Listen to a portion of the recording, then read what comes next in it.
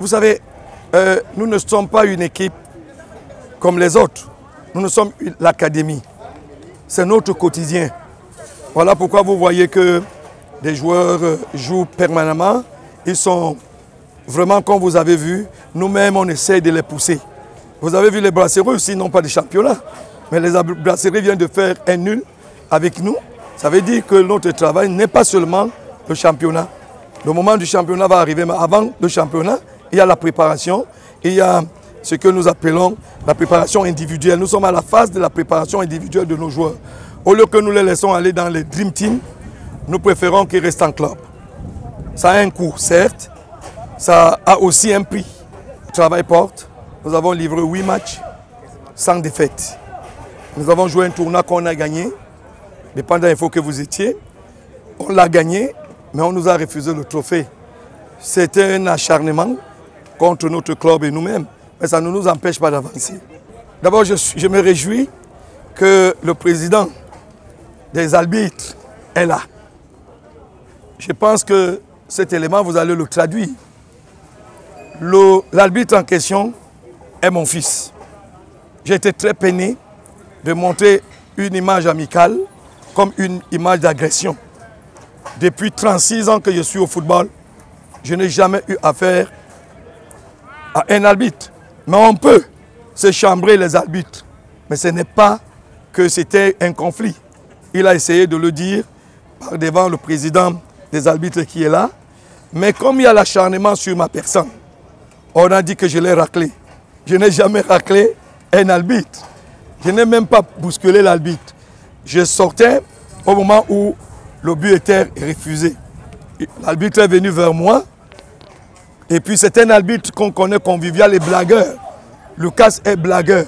C'est dans la blague que ça s'est passé. Pour preuve, je suis rentré avec lui dans ma voiture. Nous avons partagé le pot ensemble. Il a même dit aux gens arrêtez cette histoire qui ne vous concerne pas. Malheureusement, comme vous le dites qu'il a démenti, certaines personnes pensent que ma personnalité peut peser dans cette élection. Donc je ne suis pas candidat, je ne suis pas électeur.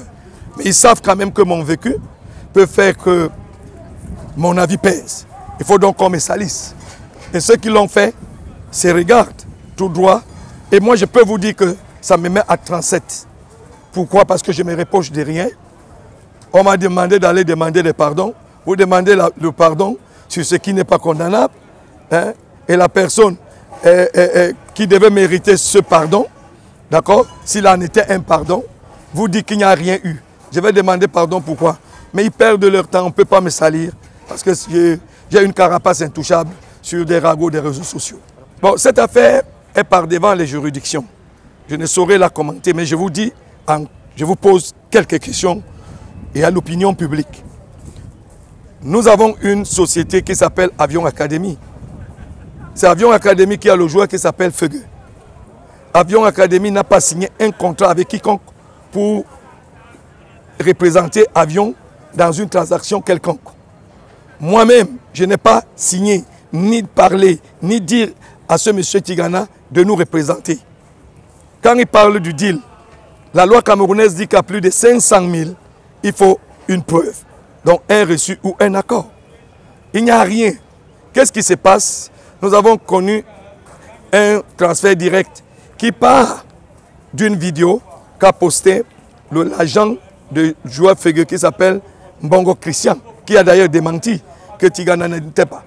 Alors, ce joueur-là a été contacté sur cette vidéo sur YouTube et le monsieur qu'on appelle son fac Olivier, représentant au Cameroun d'Achanti Tokoto, nous avons traité ensemble. Et dans cette transaction, il est nulle part monsieur Tigana. Mieux encore, je vous dis, Tigana n'est ni l'agent de joueur d'Achanti Tokoto, ni l'agent de joueur de, l'agent de club Achanti Tokoto, ni l'agent de joueur euh, d'avion, ni l'agent de feugue. À quel titre donc il demande qu'on paye? Ça, c'est quelque chose que la justice va très très bientôt nous dire. Mieux encore, je vais vous dire, pour dans un transfert de joueurs, je regarde votre caméra et je dis dans le monde entier, il y a ce que nous appelons le TMS que la FIFA a mis. Dans le TMS, nous avons ce qu'on appelle le TPO, dont les droits des tiers sur ce joueur.